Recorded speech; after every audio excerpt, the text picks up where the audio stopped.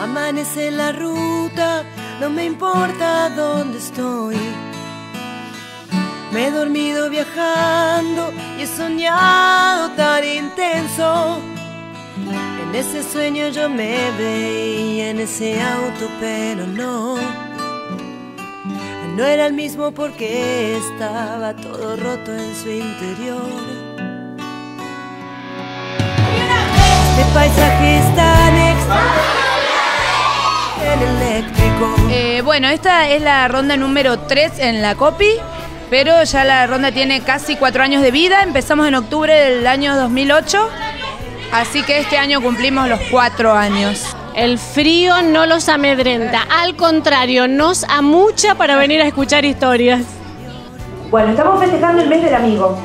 Entonces vamos a tener muchas historias con amigos. Algunas graciosas, otras no tanto, algunas con un poco más de mm. Y tenemos invitados. Mis amigos son malvados, pandilleros, despeinados, calaveras, mal hablados, malandrines despiadados.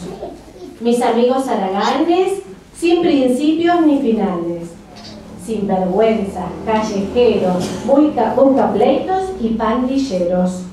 Mis amigos son lunáticos, despistados y fanáticos.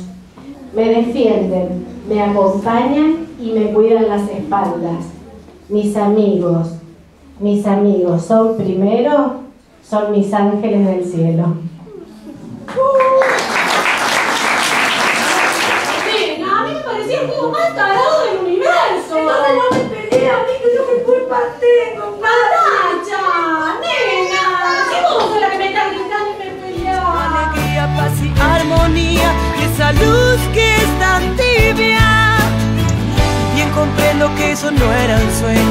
ese auto estaba yo.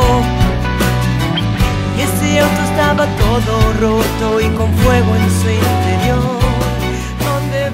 Hacían todo juntos.